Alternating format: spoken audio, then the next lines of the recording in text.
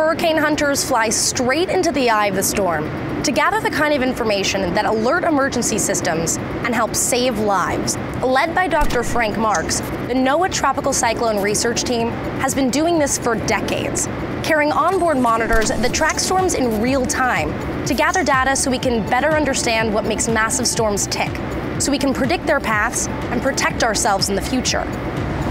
NOAA has an entire fleet, including two Lockheed Martin P 3 Orions, named Kermit and Miss Piggy, both veterans of more than 80 hurricanes. Now, the P 3s are getting a 21st century upgrade.